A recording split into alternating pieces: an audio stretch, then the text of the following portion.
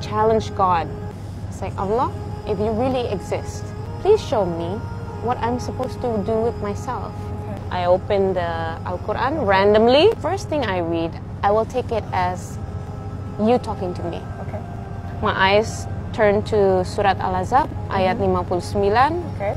You read it. O Prophet, tell your wives and your daughters and the women of the believers to bring down over themselves part of their outer garments that is more suitable, that they will be known and not be abused.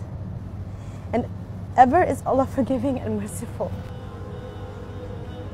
I will never forget that day because that's the exact same reaction I got. And Allah was talking to me directly. And that's when I was like, that's it.